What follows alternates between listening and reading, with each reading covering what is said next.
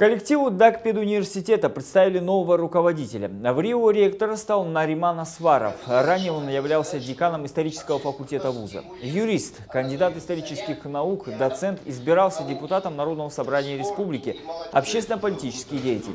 Представляя коллективу нового руководителя, вице-премьер республики Анатолий Карибов отметил его заслуги и то, что на этом посту коллеги и правительство возлагают на него большие надежды.